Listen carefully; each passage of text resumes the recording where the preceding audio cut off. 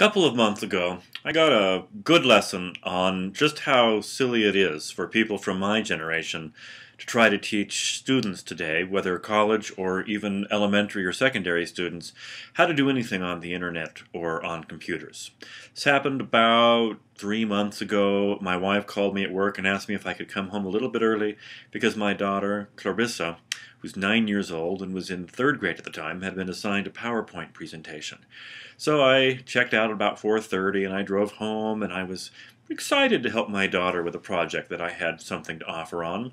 So we came down into my uh, downstairs office at our home and I turned on the PowerPoint and I said, okay, Clarissa, let me show you how you make a PowerPoint presentation.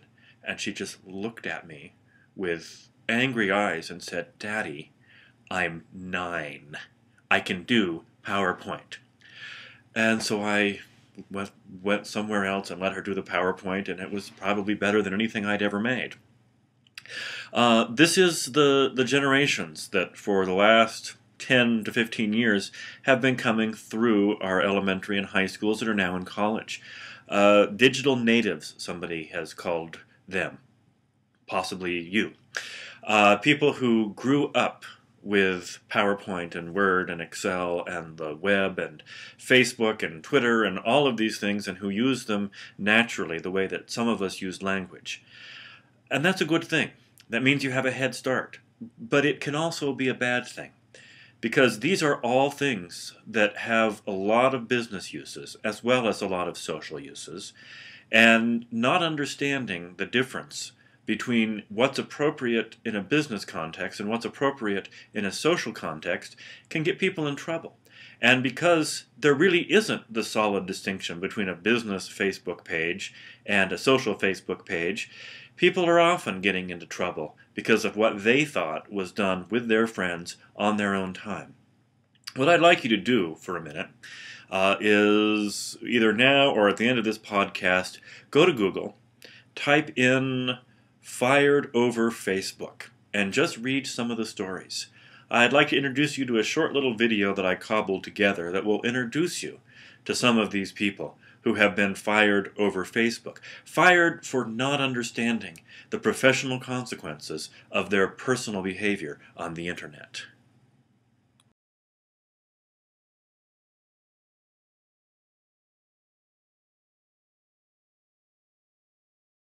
Drew Stith has worked for Living Essentials for more than a year until he says a post he made on Facebook ended his job. It was because there was a Facebook page called Five Hour Energy Sucks, and so I liked that page. Um, I don't really like the product that they make. I mean, it doesn't work for me. But Stith did like his job. He said even his good work record couldn't have saved him. They said if I don't like their product and I work there, that that makes their company look bad. Souza worked for American Medical Response, an ambulance company. Someone complained about her work. Officials say the company denied her a union rep, so she went home and complained about her supervisor on Facebook, prompting a lot of other complaints from coworkers. Then the company fired her. Paramedic Richard Doherty got a termination letter from the department's chief yesterday telling him you are hereby ordered not to enter onto the premises of any Bourne fire station.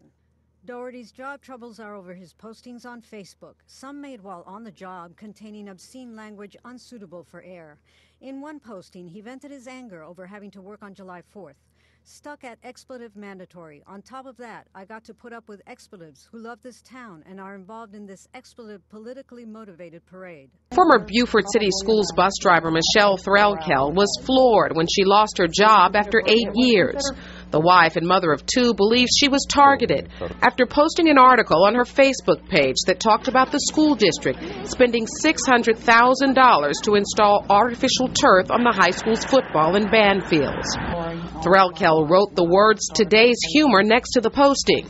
The next day, she says the superintendent and others called her on the carpet. He was very upset and angry about my post um, told me that I had humiliated him as well as the administration and told me that I had put a huge target on my back. Then, two months later, Ms. Threlkel says on the last day of school she received this termination letter, which simply states we no longer have a position for you. But Had you any idea that any of the things that you were saying could have been viewed by anyone else other than the people that you thought were your friends on Facebook? No, I had my privacy settings set.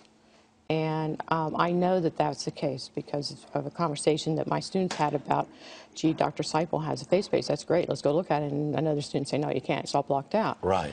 And um, Facebook made changes to their uh, privacy policy. And I just recently looked up to see how that could have happened.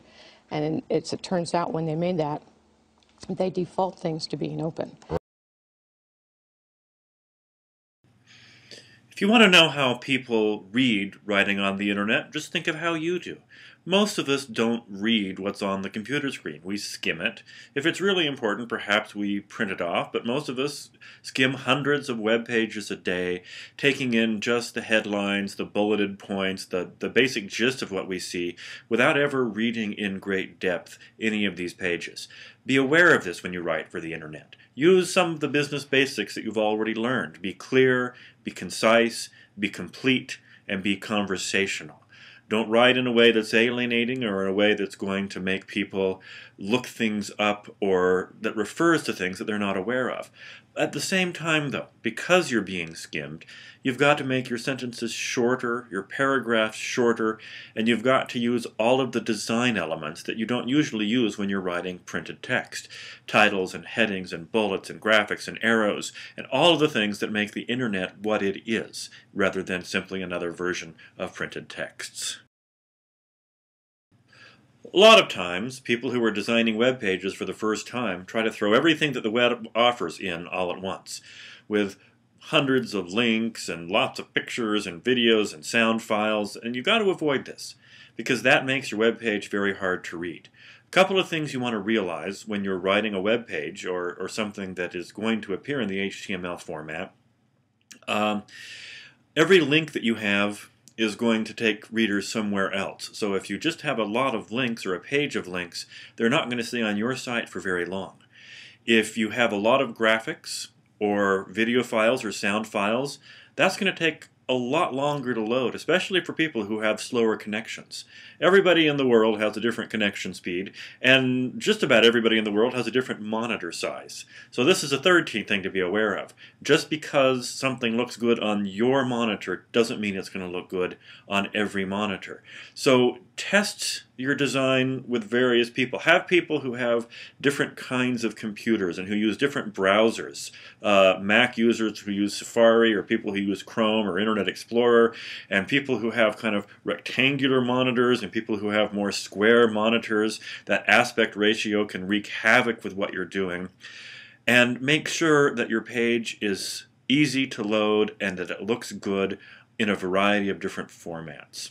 Don't don't put a whole lot of stuff to load first. If you have the video files or the audio files, make those things people can choose to click on and link to. If you make them load with the page, you'll slow up the loading of the page and people will never get to what you have to say. Finally, uh, one of the things you have to be aware of, especially if you're working for a public company, a, a, community, or a state government, or the federal government, is that any images that you have on the page have to be labeled in the background. And there are ways you can do that with various tags so that people who are uh, unable to see them, people who are visually impaired, can at least have the images described to them using the kinds of software that, that they use uh, in order to uh, orally describe what's on a web page. So in order to make your web page fully compliant with the Americans for Disabilities Act, you have to describe every image or every video that you use. Social networking is the new it word in business right now companies and schools and stores and music groups and movie producers are all trying to figure out how to use Facebook and Twitter to sell their product. And as a result, you've probably, as you've used some of these social network sites, seen them getting more and more commercial, more and more ad intensive, and more and more of the of the tweets and the Facebook updates that you see are trying to sell you something or at least get you interested in something. Uh, what this means, as we've already said, is that the distance between your social world and your professional world online is collapsing. there no longer is that distinction. So always remember that anything you say in any internet venue could become part of your professional life and act accordingly. You must be professional when you are on the internet for business, but you must also be professional when you are on the internet with your own friends, with social activities. This happens every day. I've dealt with three or four issues every year that I've been at Newman University involving people's private Facebook or Twitter accounts. And as you've already seen, people regularly are being fired for things that they thought were private. So always remember that you are a professional and you are a professional in every context. And there are ways that anything you say online can become public knowledge and known to your employee, your clients, your employers, your bosses, your supervisors, be aware whenever you're on the internet, anything you say, anything you write can and very well might become public information. Just one word about blogging, which is one of the great pastimes of the digital age.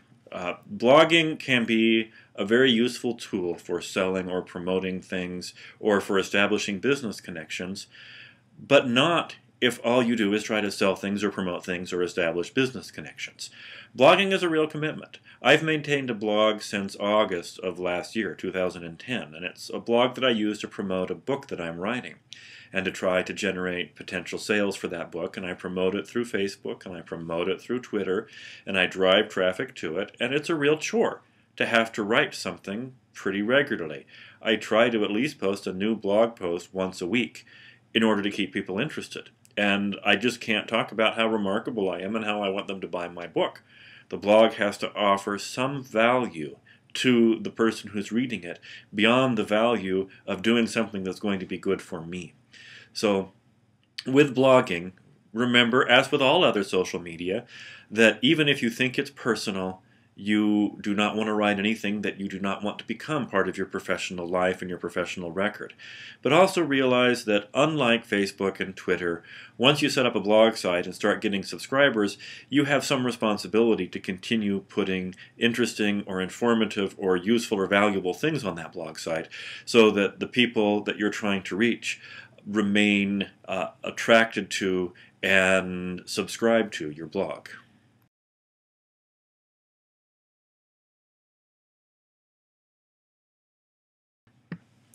Okay, let me tell you a, a story about why you are taking this class this semester the way that you're taking this class this semester. Through podcasts, through iTunes University, through brief 10 or so minute, 10 to 15 minute uh, video clips combined with PowerPoint. This isn't how we used to do online education at Newman University. We used another product called iSpring, which worked fairly well, but which only delivered lectures of about 50 minutes, and which um, which had a lot of bugs that we weren't able to fix. So uh, the computer people came to me and said, we would like to use iTunes University, we would like to buy Macintosh computers, and we would like to start doing courses as podcasts. At the time, I had never heard of a podcast. I didn't know how to do one, uh, and I have to admit, I didn't see exactly how they could be useful. But what I did know was that we needed to do something different with how we delivered distance education at Newman University. I knew that more and more students were getting their internet on their phones, iPhones and iPads and Android phones. I knew that the 50 minute lectures we were putting up, the video streaming lectures, were overburdening our server and they were making it harder and harder to, to push out to students because they were, they were starting to lock up our server. So we had to do something different. Um, as we talked about what we had to do, it became clear to me that the podcast was worth trying. And that's the, that's the way that this course uh, got born. And you're part of the experiment to see if this is something that we're going to want to pursue at Newman University. What I want to make sure, though, that you don't do in your interactions with technology as you go into the business world, the world of work, is start with the technology and say, gee, podcasts are cool. Let's figure out how to use podcasts. Instead of doing that, start with where you want to go, and you will find a technology that will take you there.